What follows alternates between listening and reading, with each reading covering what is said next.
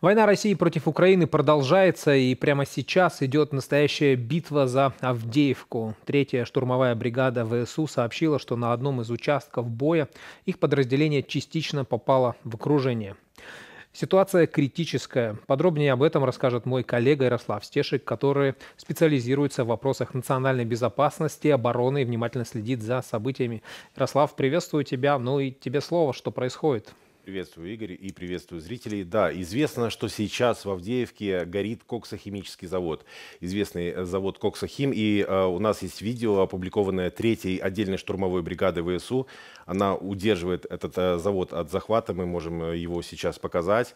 Э, и мы видим на этом видео э, дым. И вот бригада, собранная в том числе из ветеранов спецназа батальона Азов, она сообщает, что российские силы круглосуточно бомбят э, коксохимический завод по 60 авиабомб, а также россияне используют фосфорные снаряды, и от этих снарядов загорелись э, цистерны с мазутом, и вот мы видим этот черный дым удушливый, он э, э, распространяется по всему заводу и делает просто очень тяжелую оборону этого завода. Поправь меня, но, по-моему, фосфорные снаряды запрещены. Да, фосфорные боеприпасы, они запрещены, их использование запрещено дополнительными протоколами к Женевской конвенции, а также конвенции о конкретных боеприпасах, потому что фосфорные боеприпасы – это неизбирательные действия, и это чрезмерные повреждения. То есть фосфор загорает, он выжигает весь воздух, э, он э, загорается до огромной температуры и э, образует страшные раны. Вот сейчас мы, кстати, видим видео 22 года, это когда россияне штурмовали завод «Азовсталь» в Мариуполе и завод, комбинат имени Ильича металлургический. И вот похожим образом использовали похожие боеприпасы, термитные боеприпасы, когда с, в воздухе разрывается снаряд, от которого субснаряды разлетаются, они загораются, и это термитные боеприпасы, зажигательное оружие, оно до пары тысяч градусов все нагревает и все сжигает. Использование таких снарядов фосфорных либо термических в городе – это военное преступление, потому что, повторяю, это снаряд неизбирательного действия, и ну, в данном случае в Авдеевке преступление происходит. Речь идет об авиаснарядах, я правильно понимаю? Э, зависит. То есть э, россияне э, используют термические боеприпасы и фосфорные боеприпасы и с помощью артиллерии, и с помощью авиабомб. Но если, если мы говорим да. об авиабомбах, но мы же помним, что было очень много сообщений о том, что достаточно эффективно ВСУ сбивали российские самолеты. Почему, например, сейчас не удается сбивать самолеты, на которых эти фосфорные снаряды?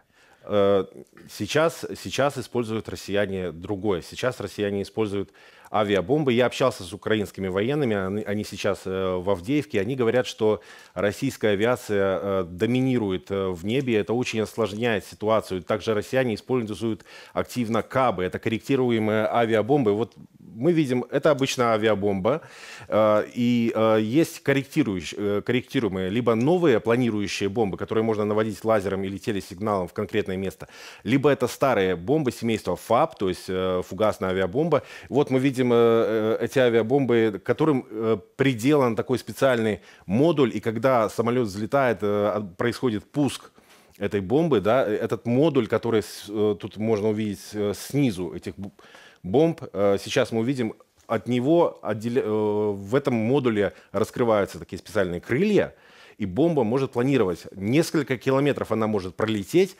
и значит, что сбить такой самолет гораздо тяжелее. В авиабомбе э, может быть 250 килограмм взрывчатки, может быть полтонны взрывчатки. Такие авиабомбы используются специально, чтобы целые кварталы сносить.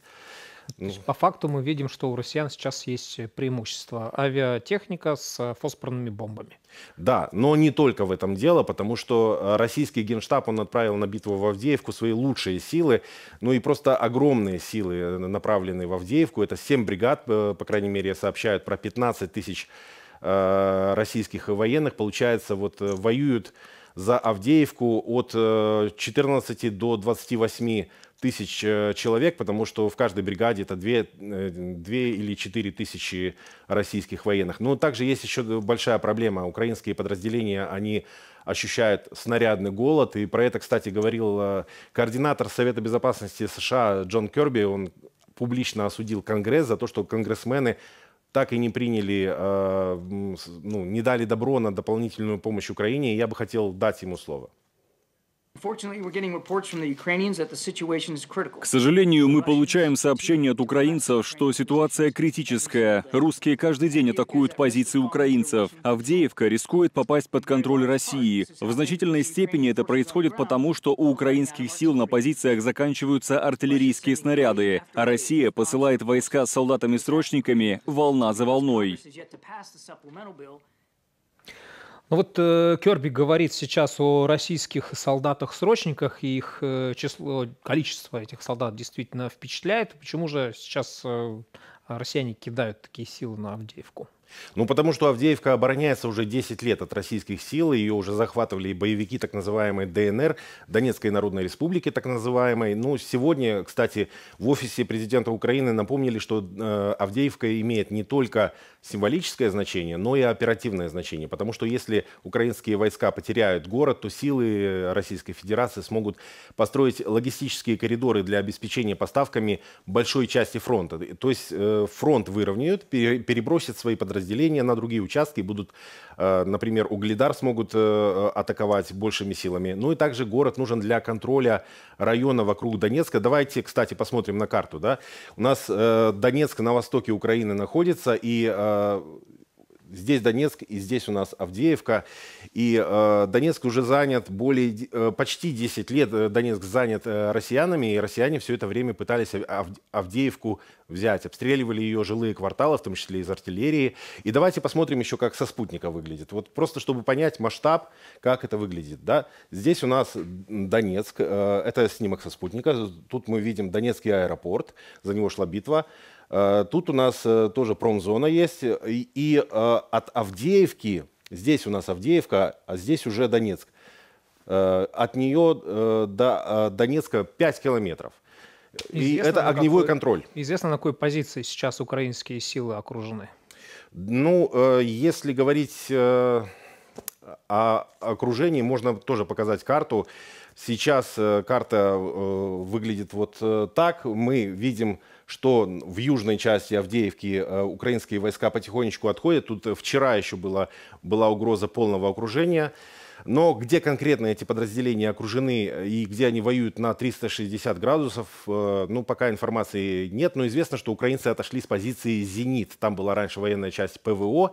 Но а самая сложная ситуация – это логистика. Э, индустриальный проспект, который связывает центр Авдеевки с шоссе 542, он полностью перекрыт, и а, осталось из дорог у нас остался только Казацкий переулок, который переходит в проселочные дороги. Ну и мы видим, что если российские силы вот, вот уже здесь находятся, а здесь у нас Казацкий переулок, да, то а, это означает, что э, эта улица под обстрелом, ее постоянно обстреливают. И сейчас идут сильнейшие просто бои именно за пути снабжения. Э, и при этом российские войска несут в Авдеевке страшные потери, и идет э, речь про несколько тысяч погибших. Ярослав, спасибо большое, что внимательно следишь за событиями вокруг Авдеевки, потому что, ну, несмотря на то, что сегодня мы говорим об Алексее Навальном, мы, конечно, не должны забывать, что война России против Украины по-прежнему продолжается. Ярослав Стешек был в нашем эфире.